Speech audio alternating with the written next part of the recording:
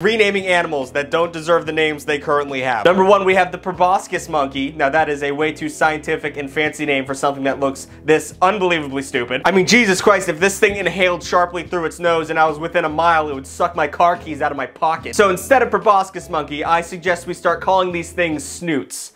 I think that makes a lot of sense. You might not know what a proboscis monkey is, but if I said, oh no, a snoot is coming, you would immediately picture this and run as fast as you can, because this is horrifying. Number two, we have the California condor, which is such an elegant name for such a hideous being. I'm sorry, I don't want to be mean to this little fucking weirdo, but it's really hard to look at. The California condor sounds like the name of a beautifully historic mansion in LA. It doesn't sound like this melting bird, this bird made of melting wax. So instead, I suggest the scientific community names this thing glunk.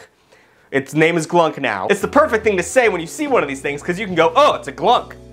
Oh my god, what a horrible, horrible creature.